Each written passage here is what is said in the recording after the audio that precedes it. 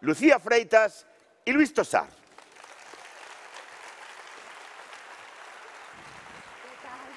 Venga, Chile. Dai, io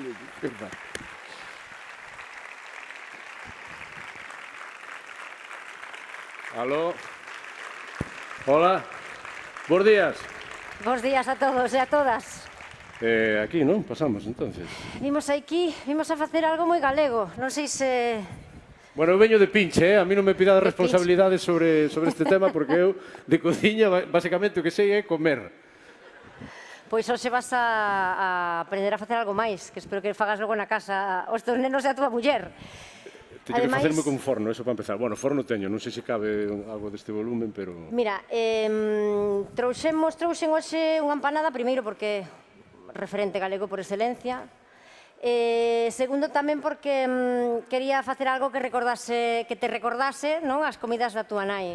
Unha vez falándome me dixeche que na túa casa tiñades un forno grande, non? Aunque, un forno de leña, de leña dos antigos, de... de verdade, auténticos. E que a túa nai... Unha cousa, meu pai traballou sí. nunha panadería cando era moi moi noviño Ah, sí? Así como de medio de aprendiz. El o meu tamén? Sí? Sí. Joder, pues mira, casualidade. o meu tamén? Pois pues el, el, el traballou na panadería e tiña así, bueno, certas nocións así de, de cocer e tal, ¿no? Entonces, durante unha época, na casa de Xusta se le restauraron, restauramos esa casa, que era a casa de miña bisaboa, da Rufina, e el restauraron tamén o forno, o meu tío, que é albañil, fixo así con ladrillo refractario que deixou uh -huh. non moi ben, e entonces empezaron a facer pan outra vez. Isto xa eles de veteranos e eu era, bueno, pues, aí, preadolescente ou adolescente máis ou menos. E aí facían estas as empanadas de, de conexo que eran como se fora un, basicamente un conexo inteiro, pero, pero metido bueno, dentro do pan. Nos picámoslo un poquinho máis para que se xa máis doado. Eh, falabas da cultura da, do pan e demais. Na túa zona, na zona de Lugo, sí. eh, houve moita cultura desos fornos de, de cultivar o gran, non? Eh, de dervar o muiño para facer logo os pans e as empanadas. Truxen hoxe para, para facer unha empanada esta fariña que tamén é moi especial porque fun a Antonte a buscala a túa zona.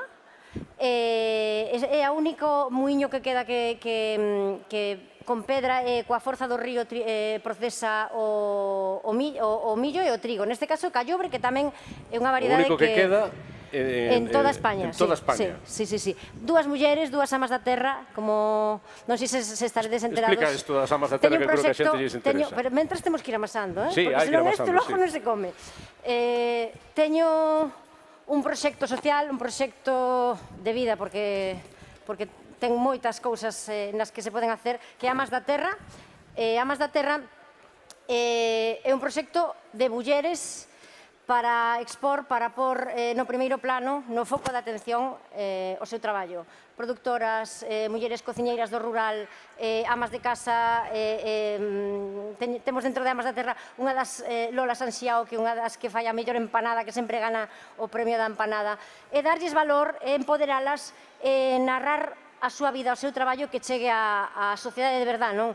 Que eh, eu teño unha estrella Michelin, pero eso non é nada. Eu cociño, eu giso, pero elas son as encargadas de, foron as encargadas de traer todo o recetario tradicional e son as encargadas de todos os produtos que chegan a nosas cociñas para poder logo ter a cociña que temos. Entón, é moi importante que se lle dé o valor que teñen, que non son transparentes, eh, creo que é de lei e de xustiza de que nós que temos máis visibilidade podamos contar esas historias que ademais son fermosísimas. Esta é unha delas, vale?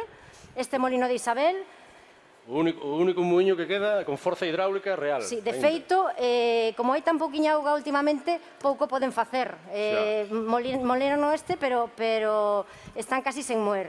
Este o guiso que fixen de coello, fixen un pouco de trampa, porque un pouquiño desgoseino tamén, para que sí. fose máis fácil de comer, pero claro. leva oso como da tua nai, vale? Sí, sí, sí, non, ten unha pinta bárbara.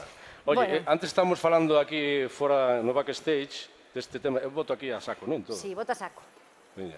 Bueno, isto vai a ser unha empanada gramada. Seguramente na túa casa facían máis ben unha empanada de masa de pan, porque era sí. máis típico. Entón, gramada que significa? Que leva bastante graxa. Entón, logo queda como un pouquiño hojaldrada, vale? Mm. Queda moi crocante. Notase bueno. que xa chega a hora de comer, verdad? Esta Oye, leva tamén mira, Lucía, leite. o que estábamos falando uh -huh. antes, que decía a, a a colación desto que estamos que estás Mira, contando, que, que estamos, non con, sí, sí, que está, estabas contando das mulleres, Ajá. a tradición culinaria, a tradición gastronómica, que sempre foi basicamente neste mundo heteropatriarcado unha cousa de mulleres, e sin embargo, no mundo do, da alta cociña do, e, do, e dos chefs prácticamente son todo tíos. Eh, este, isto, isto como se come? Pois, eh, como se digiere, máis ben? Sí. Bueno, pois eh, eu do xeito que estou facendo, que é traballando para dar visibilidade. E na miña cociña somos todo mulleres.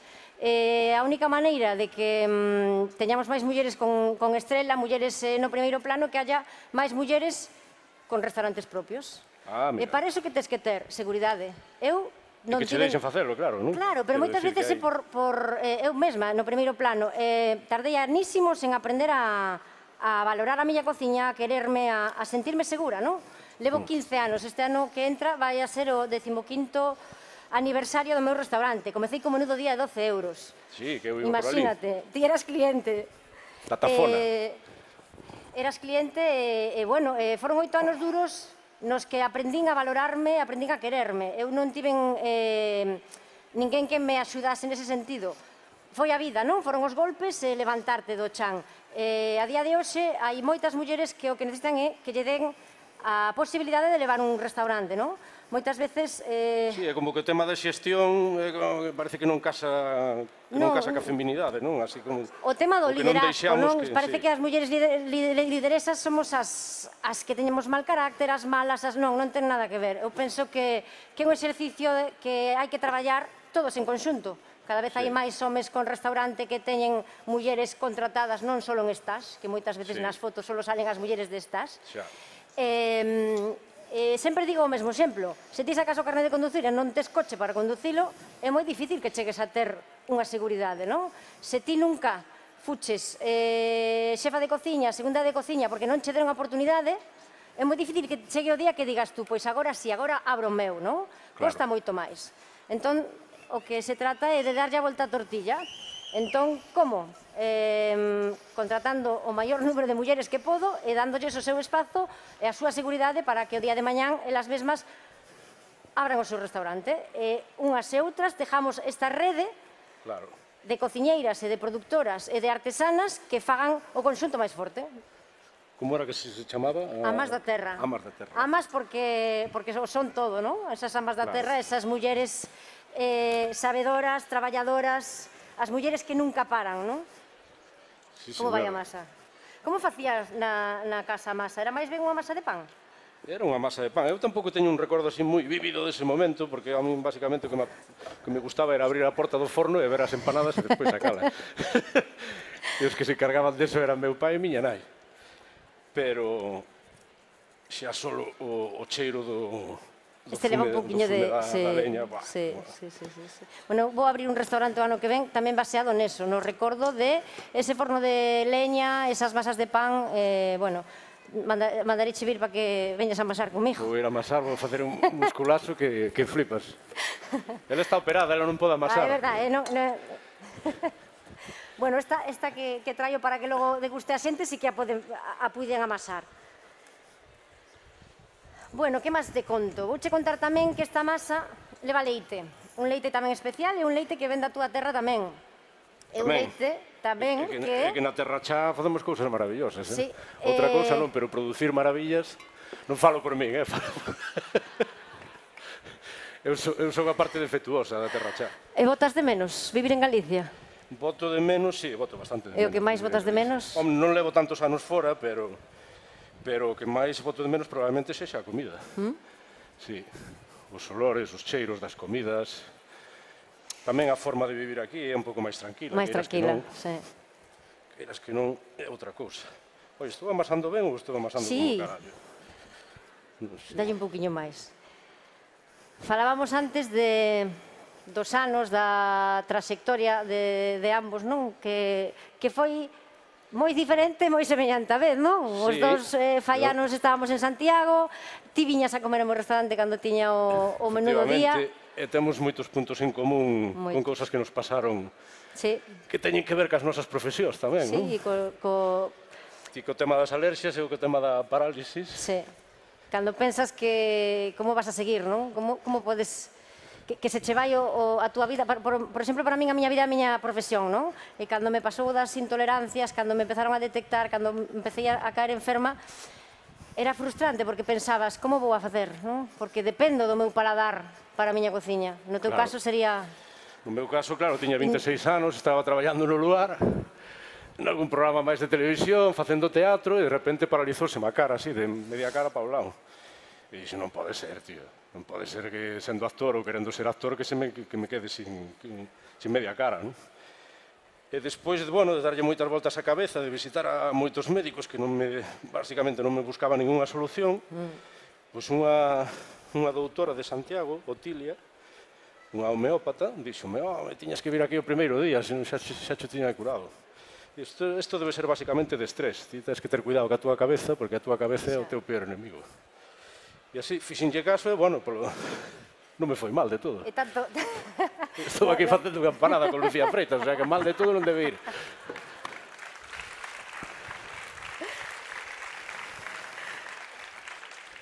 Bueno, penso que eso xa está máis ou menos. Sí, ¿no? Vamos a deixala reposar un pouquiño, para que, porque senón agora vai a ter moita forza sí. e non nos vai a deixar eh, estirala. Forza, e así... forza chairega. E así mentres me contas un pouquiño. Bueno, pois pues casi non me manchei, oi, che... cojonudo. É eh. verdade, é verdade, eh? Contame un pouquiño, porque eu teño o recordo de, de, de verte pasear por Santiago, no, no Matadoiro tamén estabas moito, era sí. como, tiñamos zonas en común, non? Eh, sí, bueno, rúa... movíamos nese, nese barrio, sí, non? Nese, aí... Neses barrios.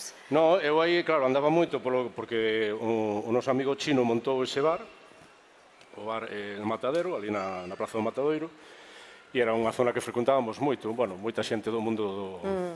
do mundo do artisteo. Eu cando cheguei a Santiago, eu cheguei a estudiar, supostamente. Como a todos. xeografía e historia, pero basicamente porque tiña, tivera moi boas notas na, no, no último curso na selectividade, entonces tiña, tiña beca de estudios e tiña residencia de estudiantes gratis o primeiro ano. Entón dixen, esta é a miña, vou para Santiago, que ali hai onde facer teatro, onde hai claro. onde buscarse a vida iba co meu amigo Jorge Coira, que tamén estaba en Santiago, bueno, facíamos curtas, cousas xuntos, e aí empecé a mover. Evidentemente non estudiei nada, pero xa empecé a facer algún cursillo de teatro que había por ali, algún taller, coñecín a xente, pois, pues, Víctor Mosqueira, Kiko Cadaval, Xan Cejudo, toda esta tropa, María Bouzas... Todos clientes meus, ademais. Claro, e entonces eles que eran un pouco máis maiores que a min, eran os que facían así teatro e empezaron tamén a meterme aí un pouco no, no mundo, non? A xente da sala NASA... Sempre supeches que querías adicarte ao teatro? Eu... Dios... Dalle, dalle. Leva comigo moitos anos. Sí, señor, isto ten... Cuidado, eh? Que... Mm, cando sentiche? Eu creo que que a miña profe de literatura con Mavisa cando tiña entre 16 e 17 anos aí foi cando xa tuve en claro sí. que quería polo menos probar probar sorte. E despois, bueno, empezaron a sair cousas, vin que máis ou menos tiña algo de talento para pa facelo. E, e sorte? Ti pensas que te veche sorte, e sorte mogollón, nos comezos, sorte, sí? sí? Porque debe ser moi frustrante, non? Cando, bueno, a sorte chega ás veces, ás veces non, non? Hai que saber eh, lidiar con ela. Sí. Pero, pero parece unha profesión moi dura. Oye, como fago isto? Non teño ni idea. a ver. Se, logo se teño que ir ao fixo outra vez, bueno, xa sabes. Bueno, pago o fixo, non te preocupes. Eh, sí, eu considero que tive moita sorte. Seguramente a sorte hai que buscar, hai que estar no sitio adecuado, hai que facerse ver. E ten que, eh, ten que, que encontrarte traballando, eso é a sí, miña frase. Sí, claro, con esforzo e intentando prepararte para o que tes, o sea, para que queres facer, saber que é unha profesión seria, non é un cachondeo, non é un mamoneo, non? O mundo da actuación, bueno, ten este perigo que, que a xente ás veces confunde actuar con estar por aí, uh -huh. non? sobre todo hoxe en día, que as redes sociais e todo Supoño que terás que ter certa madurez tamén. Cando te chega o éxito, como te chegue demasiado novo, moitas veces pasa eso, non? Sí, home, a mí chegoume madurez... relativamente maduro, co cal por eso, creo, por que, eso. creo que levei bastante ben. Pero bueno, nese sentido fomos un pouco parecidos, non? Uh -huh. Ti xa levabas anos tamén co... Ti cando empezaches a cociñar? Eu cociño... Porque eu li nunha entrevista que a túa mãe non era especialmente no, cociñera, non? terrible. A miña nai eh, eh, pasa a vida sentada no cheslón e lendo, e devorando libros. Que maravilla. Pero como cociñeira non o meu pai. O meu pai, xa che dicen, tamén foi aprendiz de panadeiro eh, na súa casa facían as, as, as galletas de nata, os eh, da horta facían toda a comida. Entón, os momentos de lecer na miña casa pois eran como o pai na cociña na Bilbaína, eh, como sempre me inculcou, pois eh, ter o noso horto, ir ao monte a por setas, sempre tiven unha unha, unha educación envidiable nese aspecto, non moi en contacto coa natureza e cos valores eh, propios Xa. do territorio, non? Eh, bueno, pois eh, a verdade é que foi como parte da miña vida. Eu, inda que estou aquí falando diante de tantas persoas, eu fun super, super, super introvertida. Eu non salía da casa, non me, non me rodeaba de xente, non? Entón, eh, a miña terapia era a cociña meterme na cociña, eh, mancharme as mans, cociñar. Eu tiña un librete, un libro de un listín telefónico escrito con receitas a mão que collía pois de Arguiñano, de, do que vía na televisión. Ah, a eso lino nunha entrevista entón, tamén, claro, que Arguiñano fora unha fonte de inspiración sí, que eso, tremenda, na, claro. Ninguén o di, pero ese home ten moitísimo que ver na gastronomía deste país, non? Porque moitas nais, aboas, eh, moita xente aprendeu platos de cociña de, de, de toda España sen salir da súa casa, non? Platos a... de cociña e eh, eh, chistes e chistes, impresionantes sí. tamén. sí, sí, sí, sí. Bueno, estou che facendo traballo, eh? E despois marchaches fora, porque estuvestes Marchei eh, non, con Euskadi, non? con 19. Tampouco se me daban moi ben os estudios, soñaba de, de dábaseme ben, eh, que conste. O que pasa é que non quería ah, estudiar, non, pero non, non se me daba mal. A mí gustábame máis ir á facultade a, a cafetería a xugar o chinchón. Claro. Eso se me daba moi ben. Entón, eso, marchei ao País Vasco e ali comecei a estudiar cociña e foi onde me din conta Primeiro, en, cheguei a unha cidade no que eu non tiña ninguna etiqueta de rarita, sí. de antisocial, entón puiden empezar de novo. E puiden empezar de novo estudiando algo que me, me facía feliz. E, entón foi como a, a chispa que encendeu o lume do que son a día de hoxe. Marchar da cidade, empezar de novo. E logo, aos 27 anos, regresei para abrir o meu restaurante. Que ben, joder. Que maravilla. Bueno, ahora ven a, pase, a, a, a fase de... Uh, vai estar complicado, eh? Sí, non? Non sei se amasar un pouquiño máis, é que eh? colliches a un pinche que non sei eu se... Si... Veña, amasamos. Bueno, mal non imos quedar porque trouxe unha feita do restaurante, así que ti tranquilo. Claro, hai que facer o cambiazo. Entente, eu, dis, eu distraigo. Chamo a Carlos que nos bote unha mao. Carlos! Vamos a pasar un poquinho máis, vale? Sí, veña, para que, pa, pa quedar ben. para quedar ben. Bueno, pois mira, Eh... Oye, e unha cousa que lín eu nunha entrevista tamén que te vin, Conta. claro, o momento este de, de como se chama, Tomiño. O, Tomiño, este sí. Ah, xa foi moi bo. De, é que eu teño unha vida de película, eh? No, no, xa vexo que... Teño unha vida de película. Pois mira, contoche. Deixa. Espera, vou eu, ah, vou ah, vale, vale, vale. Hai paus dous, veña. Mitá e mitá, a ver que queda mellor. A miña vida un pouco de película. Eh, como che digo, como empecé con Menudo Día, empecé tamén cun socio. E, bueno, despois de oito anos, eh, coincidiu tamén coa miña maternidade. Eu soy, son nai... Conciliar é superfácil, verdad? E máis, no mundo da eh, cociña, e, sendo nai solteira, sí. nin che conto. Super, bueno, super pois eu, como máis solteira, tiven a, a mala sorte, boa sorte co tempo, que cando tiven o meu fillo xusto, pois eh, a, persoa, a persona coa que traballaba, que era o meu socio, o meu compañeiro de cociña, sí. pois marchou da empresa. Entón eu quedei... Xa, todo ventaxas. Todo ventaxas, todo ventaxas. Eh, quedei fastidiadamente sola, non? E con uns cantos créditos. Pois, eh, como a vida é así de bonita, pois a semana de marchar el, viron a comer uns americanos e me plantexaron abrir un restaurante en Nova York.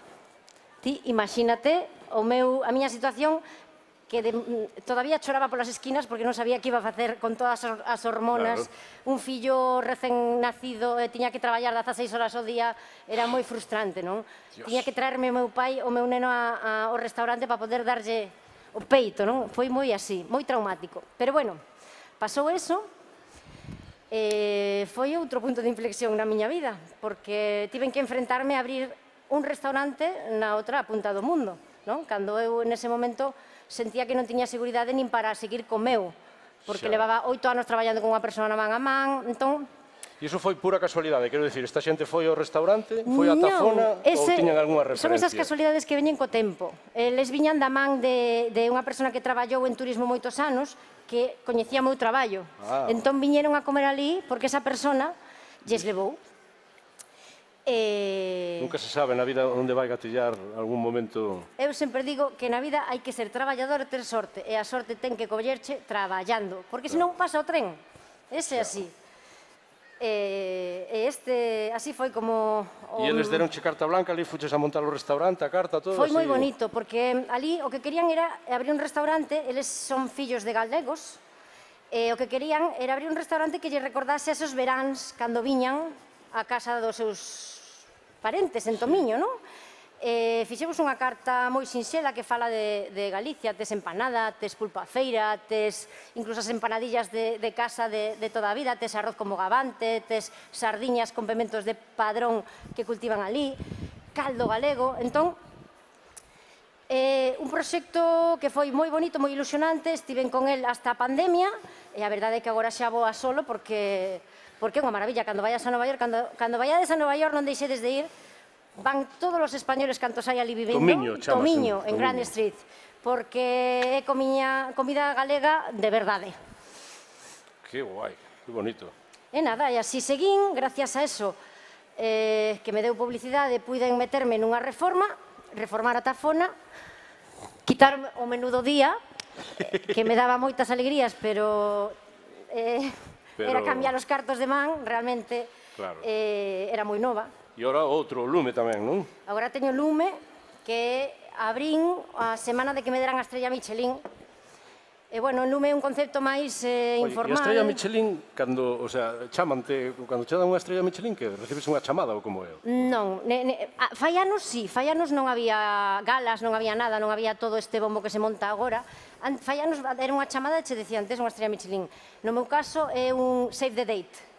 Mandanche un wow. mail, save the date, eh, li, eh, para que vayas o, a entrega de estrellas Michelin, no meu caso foi en Lisboa. Poden darcha ou non. Normalmente dan ya a casi todos os que van. Pero, ah, bueno, será vale, como... o sea, ti vas a Gala e despois aí aínda non sabes se si, si sí. hai ou non hai. E o Goya que? Tamén... E o Goya tampouco sabes, claro, o Goya... Non, non hai filtracións de ningún tipo. No. Nada. Eu, e como momento... se leva? Ganaron un golle No, así. porque teria que ser unha filtración de notario, entonces sería un cagazo destes de notario criminal, entonces non, eso non pode ser. Eso sempre pregunta a xente, dice, ai, pero non che din antes e tal, non sei que, digo, joder, ti crees que poñerías a cara, cando non che dan esa cara de idiota que te queda, que se, se supera que non era para min, no. Hola, mira, aí está a miña familia, que bo. Ah, pareceme que non comemos empanada, eh? sí, no, fillos, non, esperedes Ay, que isto... Menos mal que a trouxo feita, que senón...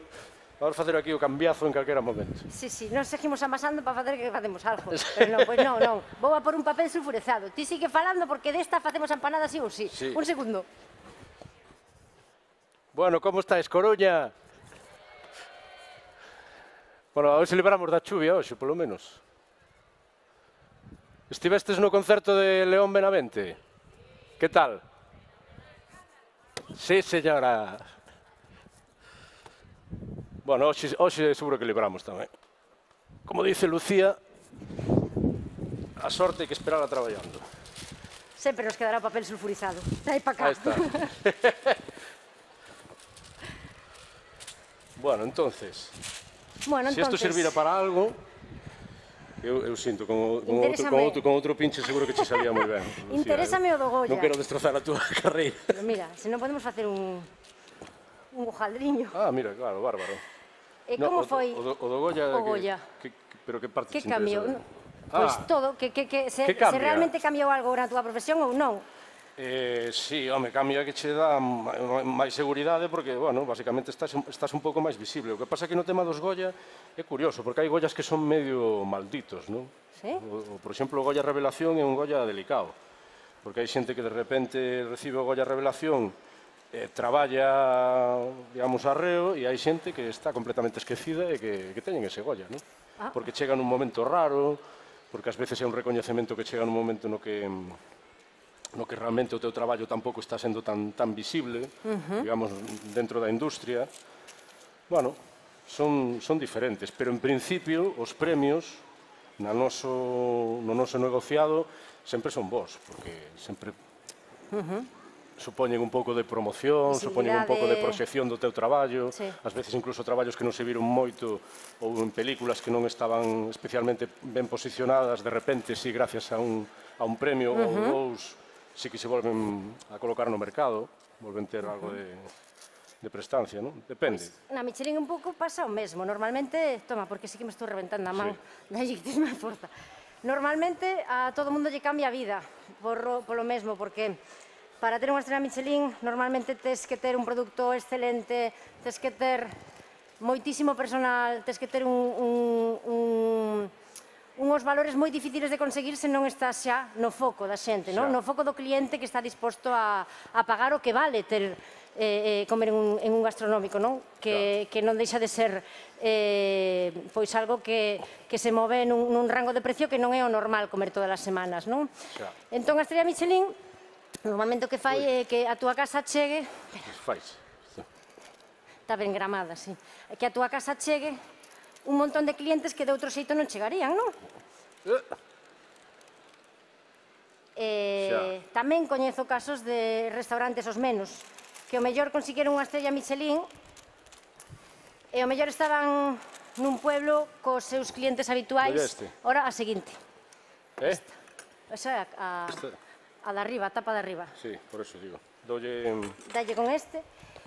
Eh, houbo casos nos que afundiron, pero bueno, sí. penso que o bueno, coñezo parecido, un, un caso entre todos os que existen, non? Eh, porque eh, eran tamén outros tempos, agora penso que tamén a xente está máis acostumada a moverse eh, para comer, non? A viaxar, a disfrutar, somos máis disfrutones que do que eran antes, non? pero sí que había un sí, restaurante bueno, hai máis fai... cultura gastronómica en xeral, non? Sí, sí, moito máis. Que debería haber moitísima máis aínda, non? Xa non, non de maneira gastronómica, non falo de restaurantes, falo de alimentación, xa. falo de saber o que comemos, de, de, de saber e poder elexir o que de verdade vai a ser eh, bo para os teus, non? Bueno, falábamos antes dos ingredientes, non? Falaba, contábasme, claro, agora cada vez hai máis ingredientes en xeral en todo, non? Sí, As, sí, os alimentos sí, sí. cada vez están máis, máis nutridos e deberíamos tender a menos, non? Temos un exceso en todo na vida, en xeral. Eh, sí. Consumimos demais... Eh, consumimos eh, demais. É verdade que o corpo non está non está preparado para consumir as cantidades de comida que, que consumimos, non está preparado para, eh, para consumir a cantidade de, de produtos elaborados, de industria, que queiras que non levan... Se fallanos unhas galletas levaban tres ingredientes, agora levan 14.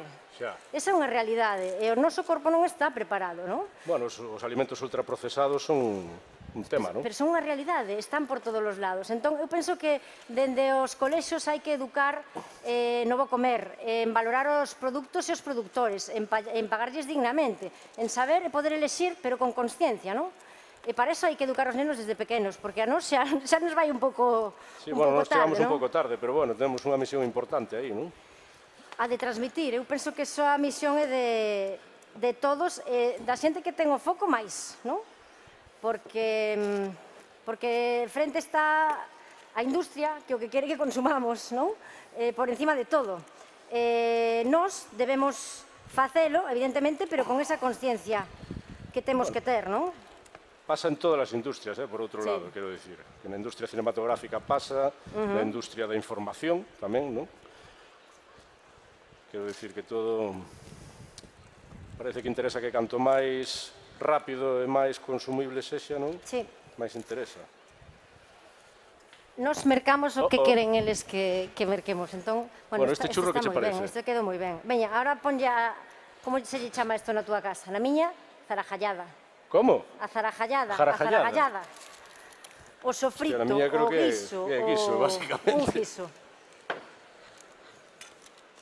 Logo non vas ter excusa para non facela na casa, eh? Pois a verdade que non. Sí bueno, non? este guiso eh, leva un pouco de trampa, é eh, de coello, pero fixino co, coa parte máis máis eh, menos seca do cuello, que son as, a, os muslos. Ah, amiga. Guisei nun pouquiño xusto onta noite na, na olla express, simplemente que comezase a... Apaguei, deixei toda a noite repousando. Repousando porque ten que ter, claro, uh -huh. un poquinho de... Eh... Uh, non lle botes tanto líquido que senón vai ver... Sí. vai se romper por abaixo. Collido aí. Eh, ti, o sabor a guiso. Pero ti confías en que podemos poder sacar algo sí, de aquí? Sí, sí. sí, sí. Vou cortando xa outra ou...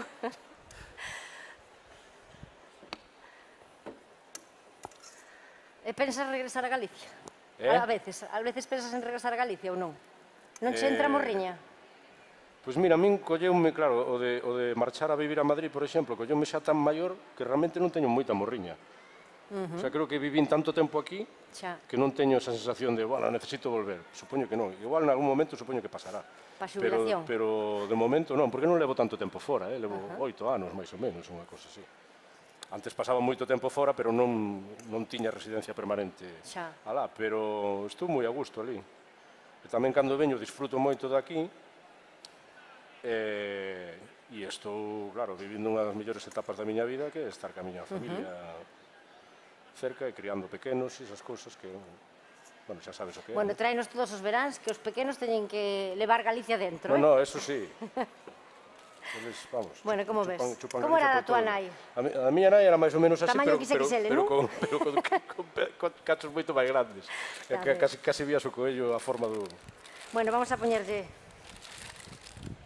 pasas honores. Reservamos, ¿no? Reservamos. Estas cosas que se dicen en cociña. Xa está o forno posto. Sí. Veña, dalle. Uf. Que non rache. Que movida, e como facemos isto? No, fai... Ah, ta, ta, volquete, aí. así? Sí, volquete sí. total, non? Sí, sí, sí. sí, sí. Intentamos... Aí. E agora con coite vemos a cortar. Oye, este é un honor para min, Lucía. Outra cousa non, pero un tipo que non ten basicamente nin idea de, de cociña, salvo, bueno. Bueno, agora xa sí. Algúnas nocións agora así de, sí. de Esta... arroz e todo eso ainda non se me ¿Sí? mal. Eh? Sí, o arroz bastante guai. E de comer? E a parrilla moi guai, eh? Sí, non? Sí. Todos os homes, Mas, a parrilla moi guai. Claro, basicamente. o de estar así dándolle volta a carne, non? Eu podería vivir en Euskadi perfectamente, eh? Sí, non? Sí é outro sitio no que... Temos moitas cousas en común. Eu vivín no País Vasco varios anos e a verdade é que que é un sitio maravilloso. O sea, parrilleiros xente... como os de, os de sí. País Vasco, difícil, eh? E carne como a galega, eh? E carne eh? como galega, eso, eh, sí. Materia prima nosa, eso sí que é verdade. Bueno, fa, sabes facer ya mm, os currunchos? Chiquitín, chiquitín, intento. Veña, intenta. Vamos a quitarlle un poquinho o exceso. E veña, dalle aí.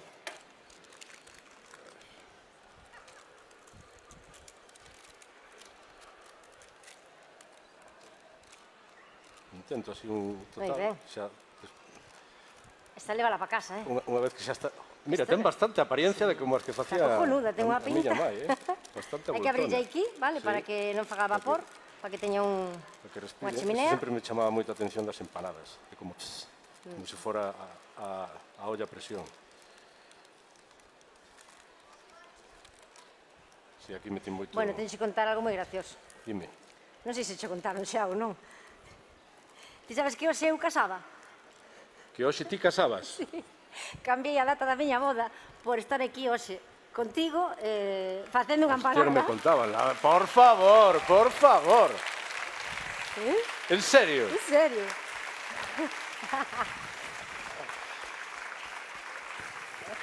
é verdad, é verdad. Bendita la persona son, que te son lleve. unha romántica. aí está, en primeiro plano. Eh? Está aí en primeiro plano, ah, xa. Ah, sí? Sí, sí, sí. Está no, cagándose en todo, non? Dicindo, pero e pa este, e pa este, tío, suspendemos o día da boda. Nada. E, está, e están todos os comensales e todos esperando, claro. no, Sería iba guay, a ser eh? na Ribeira Sacra, entón, eh, cha, cando me cantaron o proxecto, dixen, hostia, non me jodas que me caso ese día. e digo, e digolle, pero deixame un momento, de, deixame, mañán chamote de novo. Entón, falando co, coa miña parella, lle dixen... Oye, es... Ese, como non estaba nada montado aínda, as invitacións nin nada, solo bloqueado, porque claro, eu teño unha xenda como a túa casi, dixen, oye, ese o cambiamos para pa o sábado que ven. Vale, sen problema.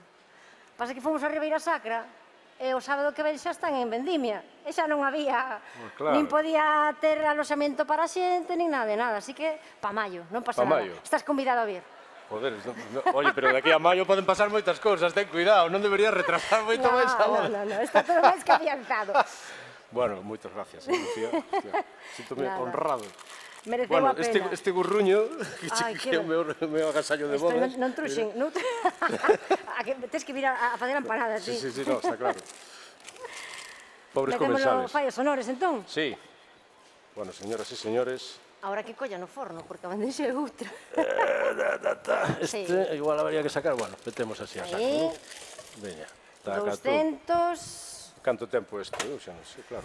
Pois eh, unos 30, 35 minutos para que, porque esta está bastante gordiña a masa, e mentras tanto que podes facer é, eh, isto é bo da cociña, Tararán. Chan, chan, chan. A masia dos, dos programas de Arguiñano, claro, que este... Pues sí, increíble, pero... Pasas honores, eh, por favor, tes que baixar a repartir esta empanada. Que maravilla. Vale, que a xente mira. que leva aquí todo este rato vendo como pelexamos como, coa no? masa ben o merece. A ver. Este que cortalo... No, ademais eh, a xente... tema, mates que xogar co oso, eh? E ademais... Como facías na casa? Rompes. Cuidado cos osos, eh, que hai que abrila. Esta é a, sí, cuidado, a empanada esta non é de morder. destapar. Hai que destapar e ir comendo. Isto é basicamente sistema de transporte, que foi un pouco a orixe das empanadas, non? Que eran así como para transportar sí, guisos e todo isto. Sí, sí, sí. Creo que falaban xa desto no... Bueno, na edade media. Bueno, está no Pórtico da Gloria, hai un que tenga... Ah, é verdad. Sí, sí, sí, sí. sí. Que ademais, en moitas culturas que desarrollaron todos, eh? estes sistemas. Bueno, para todos dificilmente vai haber, pero ahora corto. Estamos atopando algún oso tamén por aquí. Eh? Buscarei algún axudante que nos, bueno, Antes falaba che eu, que isto recordo, uh -huh. cando empeza o momento de, de dar talladas e todo isto, sempre me acordo dese sketch que che falaba antes, da cociña económica de Mofe Befa. Al, alguén viu algunha vez a Mofe Befa? O sketch da cociña económica, del gallo colorado al estilo del palenque. Bueno, era eso. Eran dous amigos, Víctor Mosqueira e Evaristo Calvo, que tiñan un sketch de cociña cos Mofe Befa, que era un descojono. E fa, facían eso, gallo colorado al estilo del palenque e acababan, bueno, eles, era a cociña económica, entón o que collían eran cosas de, da basura, do lixo, Ajá. de desfeitos. Non? Os maestros do humor. Oye, isto ten un escacho. Uh, chaval, mira para aquí. non, non, non jorobes o, o coitelo que non é noso, eh? é prestado. bueno, entonces nada. Bueno, Tenemos señoras por aí señores... algo para servir unhas servilletiñas unhas servilletas de papel ou algo para poder servir esta empanada? Eu non... Non digo nada, pero que quera probar unha empanada de Lucía Freitas... No, a empanada é o recordo da, da, da, da túa nai. Espero que cando, cando a probes... Isto vai ser difícil de preparar. Bueno, isto que... Aí. Están... Bueno, xa están feitos os honores, eh? Sí. A ver se logramos ir repartindo. E baixamos, non? Aí a repartir baixamos. un pouco. Podedes ir desfilando, eh, se queredes. Non sei se verá para todos, vamos. Para todos seguro que non hai, pero bueno, como somos Servi civilizados... Temos servilletas aquí, dame por aquí. Trae, trae, ti trae, que xa, xa doblamos nós. A ver, en fin, a India non hai moitos. ahora corredes, é a hora de comer, verdad? Nótase.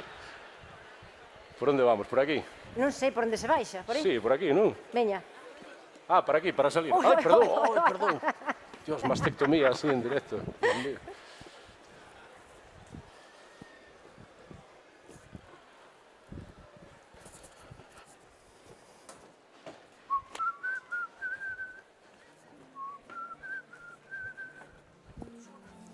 Ah, no. Sí, tirades. Bueno, sempre fará falta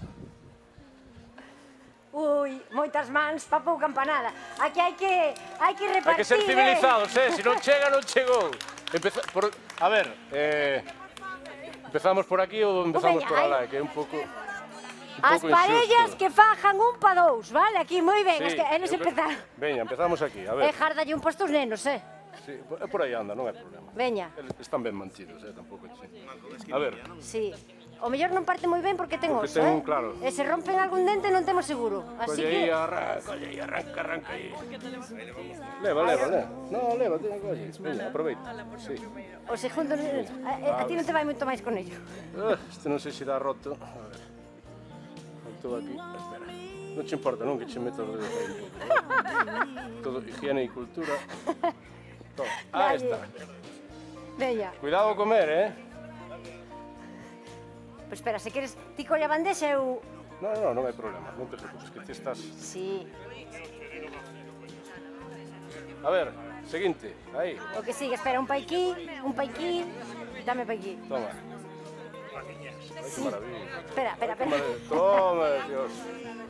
Como se nota que é a hora de comer, eh? Estamos nos para montar un chiringuito, eh? Vaya velocidade, vamos. Toma. Dios. Toma, conlle aí. Sí.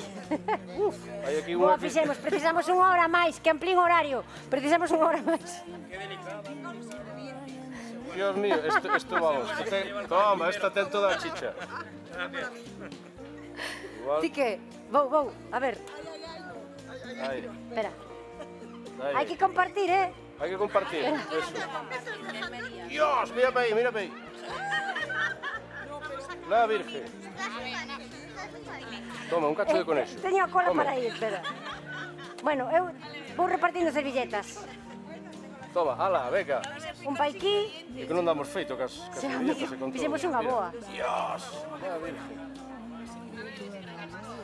Eh, Toma. fariña, aceite, leite, pimentón e sal. Mira, oh, que maravilla. Toma. O un guiso de coello. Sí. Cebolla e. pimento. De aquí a montar un restaurante en Madrid, eh? Sí, ¿no? Y además así todo. Servindo así, con este. Mañana abrimos os telediarios. Yes. ¿Quién? Ahí. Espera, espera. A ver, toma. Si puede ser por aquí, con currusco, ¿no? Xa marchan, sin, a ver, Toma. Ahí. venga. A ver, outra vez. Opa! Uf. Unha cochinada grande, eh?